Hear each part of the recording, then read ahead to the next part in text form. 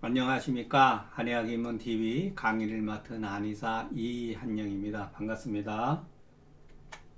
자 오늘은 굉장히 이거 뭐랄까? 중요한 조문이에요. 네.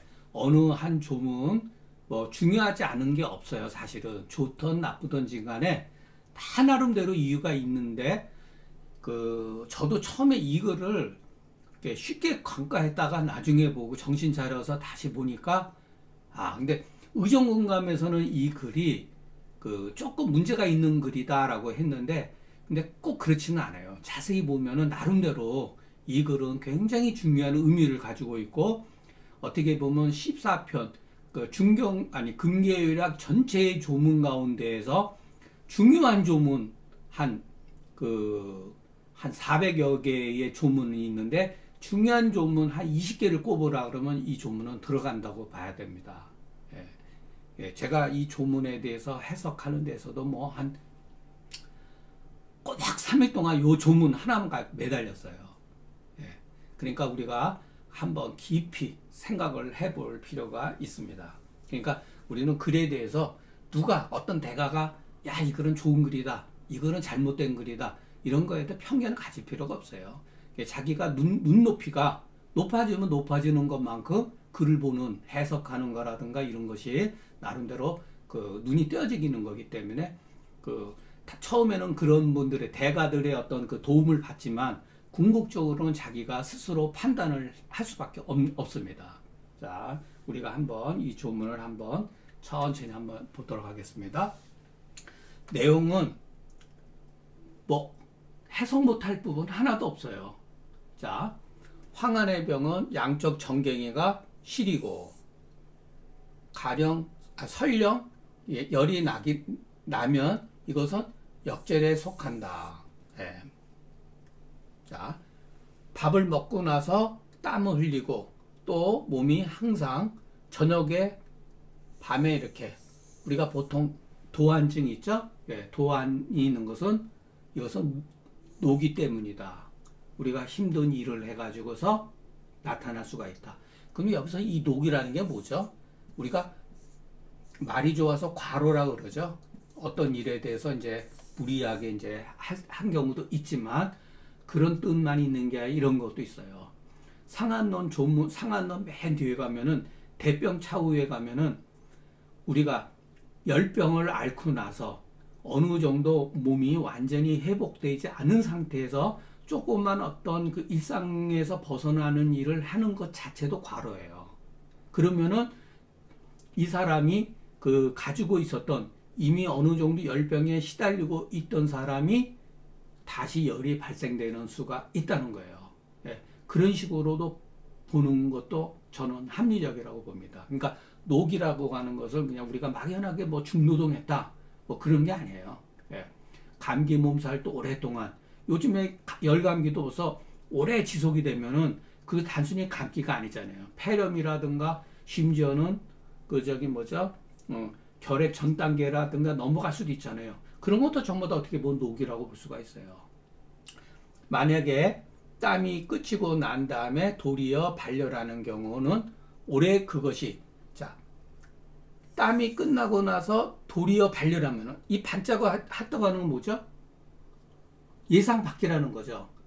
땀이 그치고 땀이 안 나면은 열이 나면 안 된다는 뜻이죠. 열이 나면 안 되는데 어 열이 난단 말이에요. 그러니까 이, 이 글을 쓴 사람은 병증의 예우를 알고 썼다는 거예요. 이게 이게 글의 묘미예요. 이런 게. 자 예전에 우리가 살다 보면 어려운 일 많이 다 겪잖아요. 예전에 그 저기 그 이수신 장군이 그 좌천돼 가지고 한양으로 대가 저가 압송되셔 가지고 그 원균 장군이 칠량포 해전에서 그냥 그 조선 수군을 다 깨먹었잖아요. 그래가지고 할 수 없이 이제 정부에서는 조선 정부에서는 그 이수신 장군을 저기 뭐야 수군 삼도 수군 통제사로 다시 했을 때 정부에서 조선 영해가 안 되겠다. 수군을 없애고 저기 누구야 권, 권유 장군한테 저걸 해가지고 육군으로 다 복속하라 했을 때 이순신 장군이 유명한 말을 했죠, 거기서. 신에게는 12척이 있습니다. 그랬잖아요. 그런데 중요한 건 12척이 뭐 중요한 게 아니에요. 12척이 중요한 게 아니라, 이것도 제가 잊어버렸네요. 12척이. 요 앞에 글자가 있어요. 앞에 글자가. 신에게는 12척이 남아 있습니다. 이게 중요한 게 아니에요. 이순신 장군의 심리적인 상태, 요 앞에 글자가 뭐냐면 상류. 상류. 신에게는 오히려 이 상자, 오히려 아직도 이게 그의 묘미예요. 그러니까 이순신 장군의 그 감정적인 그 표현은 이 열두 척의 결혼한 의지가 담겨 있지만 실질적으로 오히려 여기에 강조가 있는 거예요. 이게 글, 글의 묘미예요. 여기서도 마찬가지예요. 이 사람이 땀이 끝쳤어요. 그러면 땀이 그치면 열이 나질 않아야 되는데 의사는 그렇게 예측을 하고 있었던 거예요. 어 그런데 예상과 달리 열이 지속이 됐다는 거예요. 그리고 여기 또, 또 이런 말 했잖아요. 이 열이 지속이 되면 어떻게 되죠? 피부가 거칠어진다는 거예요. 왜 거칠어질까요? 진액이 고갈됐으니까.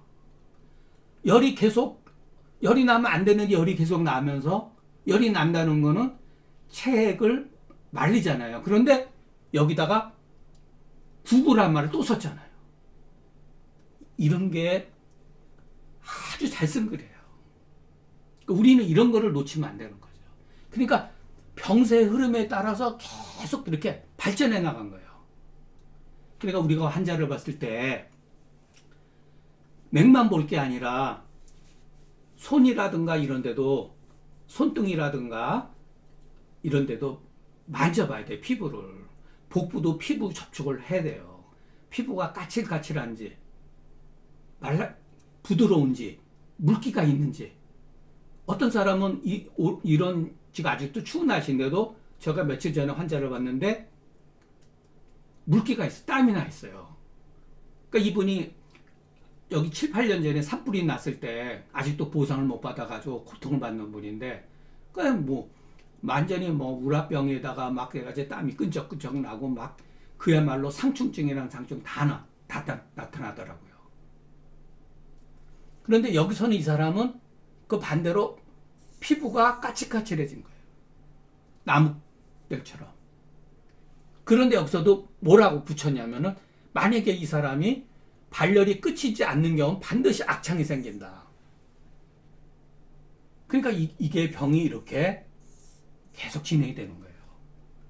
앞에서 우리가 가라병 같은 경우도 마찬가지죠. 가라병은 뭐 현대에 들어서 뭐 한센병이라고도 하고 하지만 어쨌든 간에 보면 악창이거든요. 결국은 뭐냐면은 옛날 사람이 봤을 때는 이와 같은 그 구조 위에서 진액이 고갈이 되면서 그러니까 결국은 뭐냐면은 여기서 말하고 말하는 게 열이 발생이 됐다. 땀이 끝쳤는데도 열이 발생이 됐다. 근데 그 그것이 오랫동안 지속이 됐다. 또 열이 끝이지 않았다. 이렇게 계속해서 강조, 강조. 그러면서 증상은 계속 더 나빠지는 거죠. 그러니까 우리가 그 지금은 현대인들은 영양 공급도 좋고 그러기 때문에 그렇지 실질적으로 저희들이 어렸을 때만 해도 이와 같은 병을 많이 알았어요. 저도. 자, 피부가 각자가 하는 거를 우리가 잘 살펴봐야 된다는 거.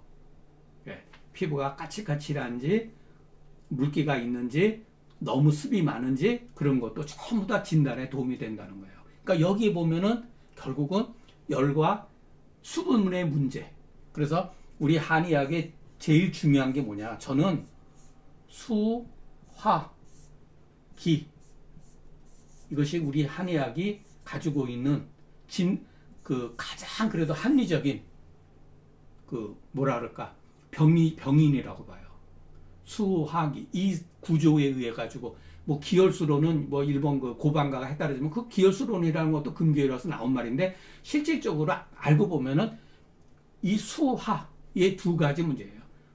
수분과 열의 문제에 의해 가지고서 우리 몸을 어떻게 우리가 조절을 하느냐. 우리 한의학의 특징이 여기 있는 거예요. 한의학이 무슨 간자병을 고치고 심장병을 고치고 비, 비장을 고치고 위장을 고치는 것은 하나의 결과일 뿐이지 실질적으로 우리 몸의 수분 문제, 수분 문제와 이 온도의 문제, 열의 문제의 조화가 어떤 균형을 가지고 있느냐에 따라서 기가 적절하게 유지가 된다는 거예요.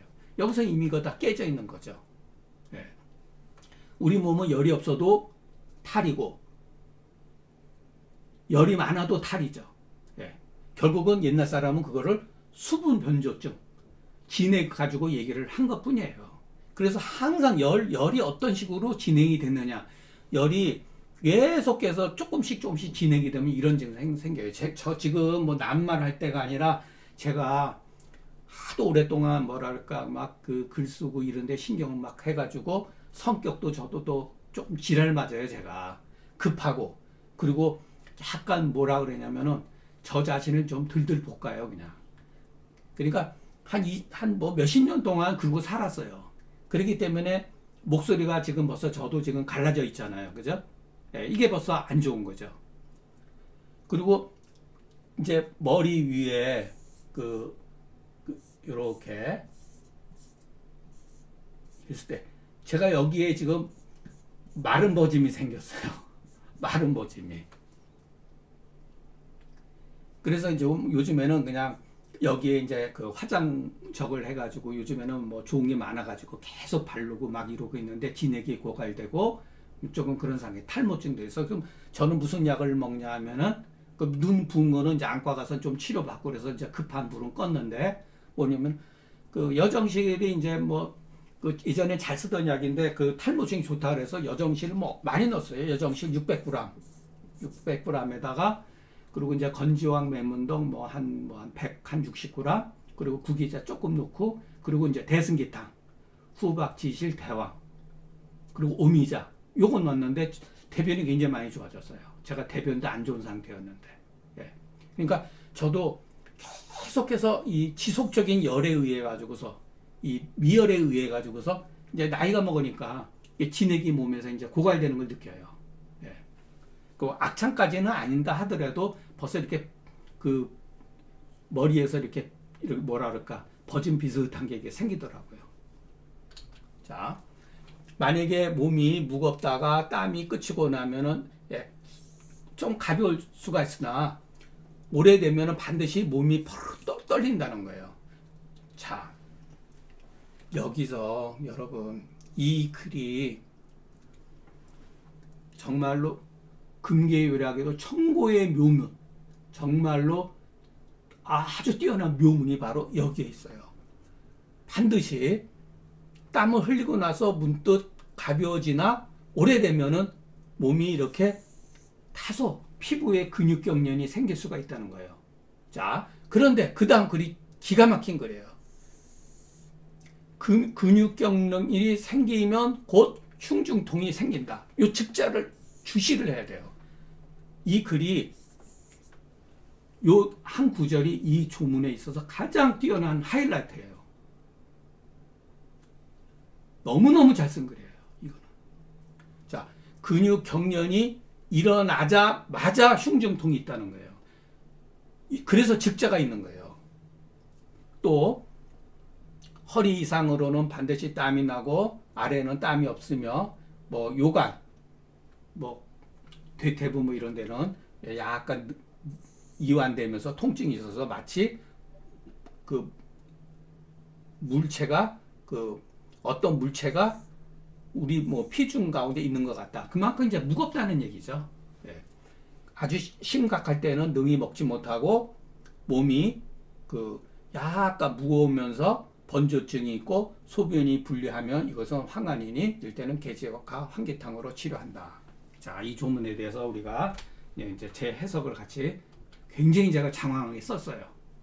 자, 혹자는 혹이라고 하는 것은 의존공감 천은 저도 처음에 이거를 보고 아이 그렇지 않아도 그냥 해석하기도 힘들어 죽겠는데 그래서 아이 그래 이런 대가들이 이런 말을 했으니까 나도 그냥 수저 얹혀놓고 그냥 대충 넘어가자 처음엔 그렇게 했어요. 아 근데 나중에 강의 여러분들한테 강의록도 만들고 하다 보니까 아닌 거예요, 이게. 거기서 뭐냐면 뭐 문의가 연결돼 있지 않은 것을 봐서 이것은 반드시 착각됐다. 이렇게 해놓은 거예요. 아, 이런 글 나오면 저도 얼마나 좋아요. 아, 잘 됐다. 가뜩이나 어려워서 죽겠는데 그냥 대충 하고 넘어가자 했는데 자세히 살펴보니까 그게 아니라는 거예요. 어떤 병사가 네 사과를 지나면서 네 개의 경과를 지나가면서 병증이 더욱더 심해진 것을 우리가 볼 수가 있다. 요 과라고 하는 것도 이 과 유명한 말이에요. 네. 맹자에 보면은 물이 흘러갈 때 영과 구덩이를 채울령 영과 이후에 흐른다란 말이 있어요. 그러니까 공부라고 하는 건 뭐냐면은 단계 단계를 거쳐서 발전해 나간다는 거예요. 그냥 옆등이라 그래가지고 뛰어넘을 수가 없다는 거예요. 그 병도 마찬가지예요. 물이라고 하는 병은 어떤 단계가 있는 거예요. 그러니까 네 단계의 이 조문에서 그렇게 나타나고 있는 거죠. 자, 우리가 그렇기 때문에 대략적으로 정확하게는 모른다 하더라도 대략적으로 병세의 흐름을 이해한다면 우리가 문의를 이해하는 데 있어서 어렵진 않다. 이와 같은 조문은 아주 사실적인 묘사, 핍진이라고 하는 요즘 말하면 아주 그냥 사실적인 묘사 가운데 깊은 뜻이 있다. 힘에, 힘에도 깊이, 미의 자체가 깊은 뜻이에요. 예, 아주 깊은 뜻이 있기 때문에 가불복음가, 요거는 이제 반어법이에요. 가히 복음이라고 하는 건 가슴에 담지 않을 수가 있겠는가 이렇게 해석을 하면 됩니다. 복음이라는 건 원래 그 중용에 나온, 나온 말이에요. 그 아내가 이제 공자가 한 말에서 권권복음이라 그랬어요. 조심조심스럽게 그 말을 말씀을 공자가 해준 말을 가슴에 이렇게 담는다 하는 게 복음이에요. 자, 이, 이 글은 여러분 제 생각이기 때문에 주관성이 너무나 강하기 때문에 여러분이 받아들이지 않으셔도 돼요. 왜냐하면 여러분이 받아들이지 않는다고 제가 저는 제 주장을 표현할 수 있는 거는 뭐 제 의견이니까. 제가 여러분한테 다 맞출 수는 없거든요. 받아들이던 받아들이지 않던 간에 이거는 제 사고방식이니까. 자, 이거를 이해를 하려면은 그 중경서 독법의 그 가문론이라든가 보감론을 조금 이해를 하셔야 돼요. 전기는 우리 몸의 표에 탁 이렇게 쭉 퍼져 있다는 거예요. 전기가. 범위라고 하는 건 이렇게 쭉 감싸고 있다 이 소리예요. 이런 것도 뭐 하나하나 따지자 그러면은 제가 절대로 함부로 쓰는 게 아니에요. 범위라는 거. 예. 주역에서 나온 말이에요. 범위라는 말. 예. 왜 바깥으로 사기를 막아주고 내부로는 진액을 보존해 준다. 전기의 역할. 우리 몸의 전기 역할이 뭐냐? 외부로는 사기를 막아주고서 안으로는 진액을 보존해 준다. 진액은 뭐냐? 진액은 뭐냐면은 우리 인체 내부에 가득 차 있다. 충색이라는 말도 제가 잘 쓰잖아요. 이 맹자가 맹자의 호연적에서 나온 말이에요.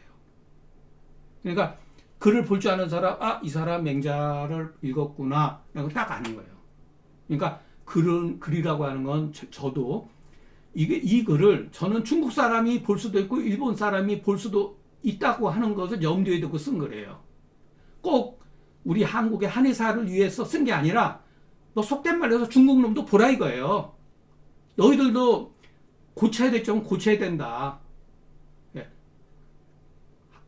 한의학이 너희들 거라면 학문이라고 하는 것은 너희들에 의해서 나온 건 맞지만 그것을 발전시키고 오히려 합리적으로 이해시키는 것은 너희들이 가지고 있는 문제점이 있다. 예. 걔네들의 표현 방식으로 해서 합리적으로 반론을 제기할 수가 있는 거예요.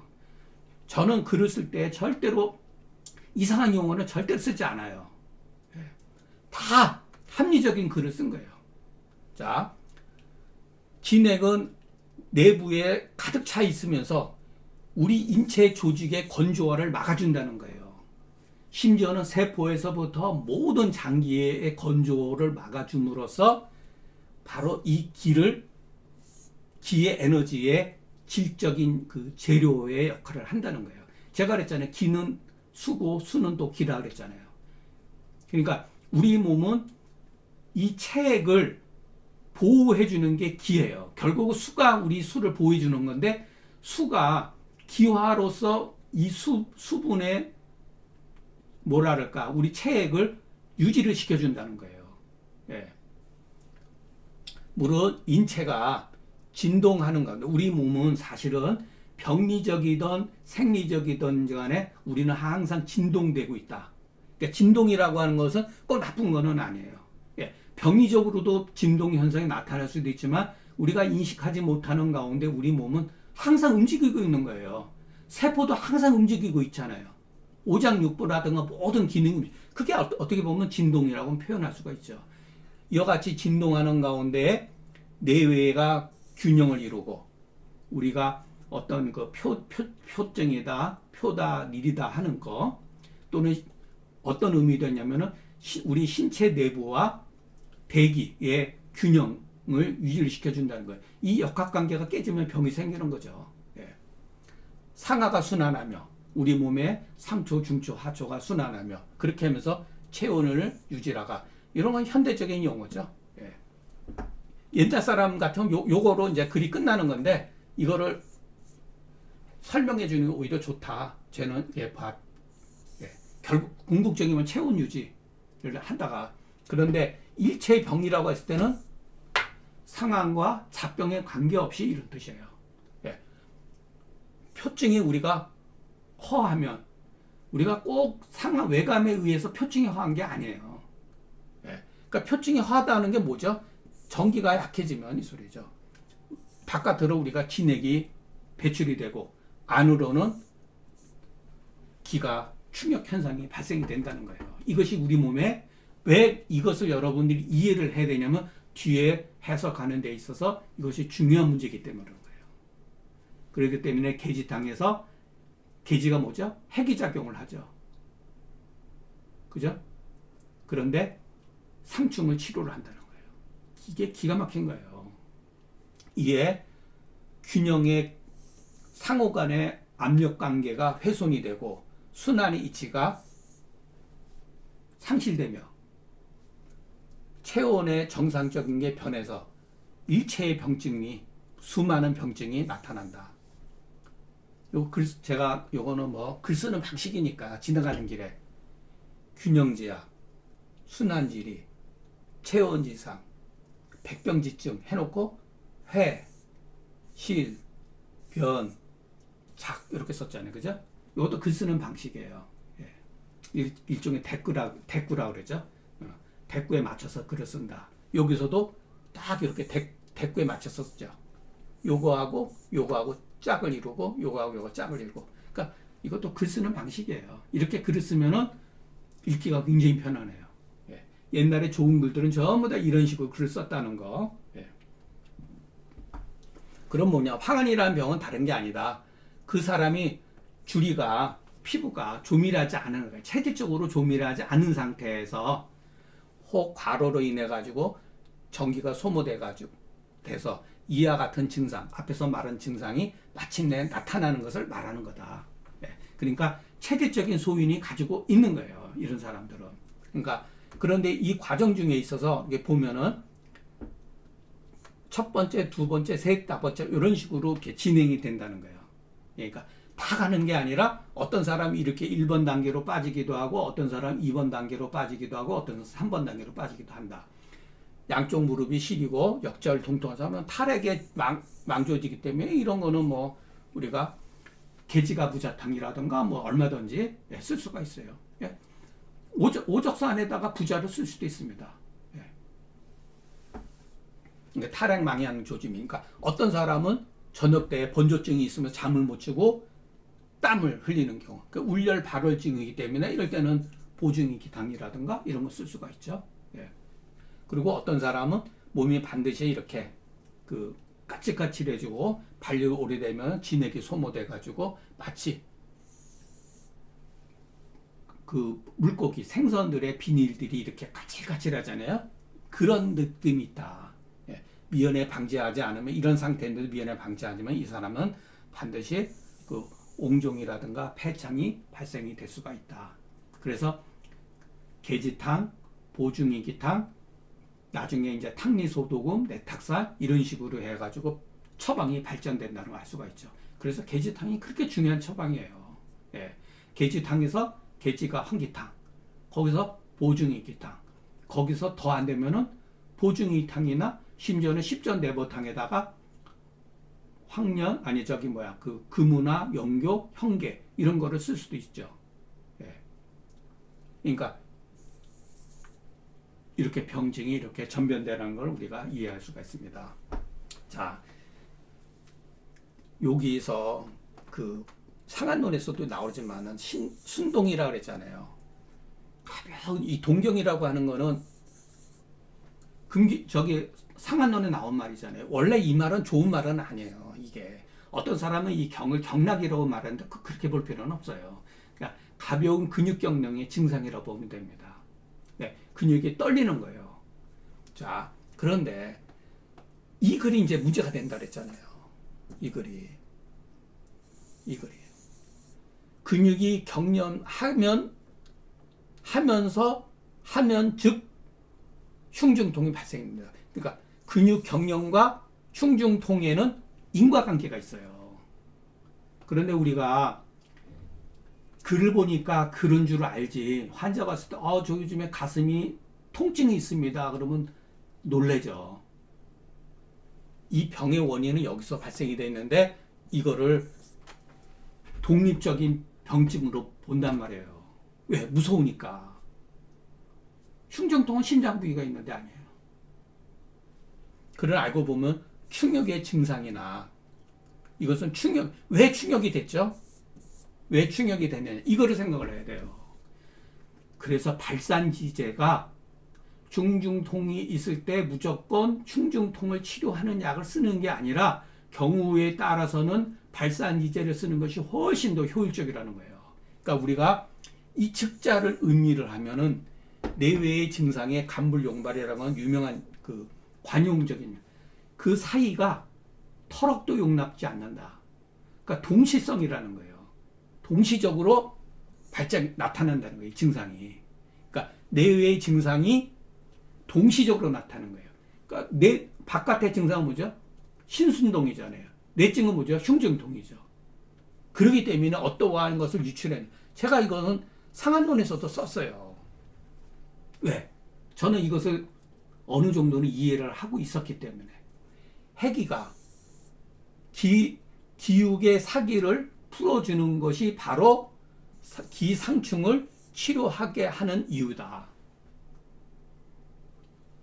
이게 참 묘미가 있는 거예요. 우리 한의학에 정말로 묘미가 있다면 이런 데에 가서 아마 이, 런 거는 양방 쪽에서는 이해를 못하죠. 그 사람들의 사고방식에 있어서 이해가 안 돼요. 이런 거는. 그래서 외내의 증상이 간불용발의 병자 이와 같은 글이 이렇게 그냥 나오는 거예요. 그러니까 이 직자가 얼마만큼 중요하느냐. 의미를 해야 된다는 거예요.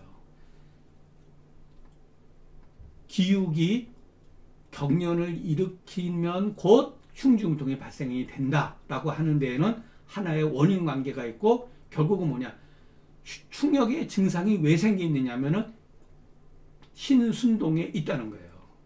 그렇기 때문에 개인적으로 조문 가운데 미유는 이19 순주 흉중통에 있다.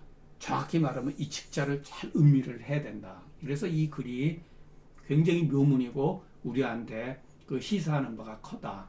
그렇기 때문에 우리가 가슴 답답하고 그럴 때 이거를 자꾸만 뭘 풀어준다 했을 때 가벼운 발산지제를 쓰는 게 굉장히 효율적이다. 잘 모를 때는 이렇게 하는 게 좋아요. 그러면 예를 들어서 발산지제가 꼭 그러면은 무슨 개지 마왕이냐 그건 아니에요. 강활이라든가 이런 것도 발산을 시켜줘요. 그럴 때 후세방이 익숙해진 분은 강알 같은 거를 얼마든지 예, 적절하게 쓰면 됩니다. 강알 같은 경우도 방향성이 있잖아요. 냄새도 향기도 있고. 예. 그래서 이 조문은 그 이론론적인 관점에서 우리가 이해를 해야 되고 굉장히 중요하고 금계율학에서 중요한 조문 20개를 꼽, 해보라 그런다면 거기 안에 들어갈 수 있는 조문이 있다는 거. 자, 신냉, 신종이 냉하야 상처가 많죠. 온몸이 이렇게 전신적으로 이렇게 저릿하거나 또 이렇게 그 허벅지 이게 대퇴골이 있는 데가 뭐 약간 통증이 있고 마치 거기에 뭐가 어, 무- 물건이 있는 것 같이 해서 이거는 결국은 수기가 울결해 가지고 마비 증상이죠. 이런 거는 무거운 느낌. 예. 있기는 뭐가 있겠어요. 뭐가 있다고 느껴질 땐 전부 다 수기 울결이에요. 예. 그러니까 마비라고 하는 것도 결국은 다 수기 울결이 굉장히 많아져. 예. 그러니까 흉중 질색하거나 앞에 조문에서 이게 나왔었어요. 앞에 조문에서는 흉중 질색이라고 그랬고 여기서는 흉중 통이라고 그런 거예요. 자, 흉중 질 그래서 제가 잊어버리지 말라고 쓴 거예요. 14편 이게 이내 조문에 있어요. 흉중 질색하거나 흉중 동이 불능식 소변 분리자는 수기가 위로 상충하기만 하고 하하지 못한 연유이다. 이것이 바로 예, 이 안에 이 병리적인 개념이 있는 거죠. 예. 비록 그렇다나 이 경우 방위는 자 기육 순척이 동해에서 우리가 도모하는 것이지 흉중 질색에서 도모하는 거 아니다. 예, 잘못하면 거꾸로 왔거든요. 흉중 질색이 통이 더 무거운 증상이잖아요. 그렇기 때문에 잘못하면은 요, 이거를 치료하기 위해서 뭐 사심당이라든가 함유당이라든가 뭐 이런 거를 쓴단 말이에요. 후세방에는 뭐 여기 적절한 거 있겠죠. 예. 그, 그, 그런 거 쓰면 안 된다는 거예요. 만약의 경우 여러분이 내가 내 판단이 잘못됐다고 이렇게 의심된다면은 한번 처방을 봐라. 본방의 양력은 대체적으로 해기하는 데에 주력하고 있다. 해기하는 데 주력하고 있는 것이 아니면 무엇이냐. 병증의 그 경중에 따라서 계지탕, 영계출감탕, 계지가 환기탕, 보중이기탕, 계지가 부자탕, 기무탕 이런 식으로 이렇게 예, 처방이 변할 수가 있다는 거예요. 근데 이것만 이것만 독립적인 변수로만 이거를 봐가지고 쓰면은 완전히 진짜 잘못 판단하는 거죠. 그래서 이 조문은 저도 여러분들의 강의는 이렇게 하지만 환자가 막상 흉중 질색이 통증이 있을 때 이런 식으로 약을 쓰느냐 겁나죠. 솔직하게. 그래서 아직도 이치가 통하지 못했기 때문에 두려운 거예요. 그러니까 우리가 이와 같은 세 뭐랄까 우리가 느끼지 못하고 몰랐던 영역이 있다고 하는 것을 분명히 알아야 되고 이 계지탕의 위력이라든가 우리가 보통 연계출감탕 뭐 보증액기탕을 대변을 해가지고서 보증액기탕이 왜 이것을 치료를 하는가를 이해를 하셔야 된다는 거예요. 그러니까 막연하게 보증액기탕이 기가 허했을 때 치료한 약이다, 보약이다 이렇게 생각하면 안 된다는 거예요. 기가 허했을 때 흉증 질색의 통이 얼마든지 올 수가 있고 근육 경련이 생길 수가 있다는 거. 예, 이렇게 우리가 추상적으로 이해하지 말고 구체적인 증상을 통해서 이해를 해야지만이 예, 처방이 예, 활용 범위가 더 넓어진다는 거. 그리고 글쓰기는 글, 글은 이렇게 구체적으로 쓰는 게 어려운 글이에요. 예, 막연하게 어, 기가 허해 심혈 부족이야 이렇게 막연한 말은 아무 쓸데기 없어요. 오장이 약해졌어 뭐 이런 말들 신농 보초기에 가면 전부 다 그러잖아요. 예, 오장을 보호해 준다. 그건 뭐 아무 치료가 안 된다는 얘기하고 똑같은 거죠. 자 오늘 그 조금 서두르다 보니까 내용도 좀 길고 그래서 조금 빨리 했는데 여러분 이 조문은 너무 중요한 거니까 한번 조금 깊이 생각해 보시기 바랍니다. 네, 오늘 강의는 여기서 마치겠습니다. 경청해 주셔서 감사합니다.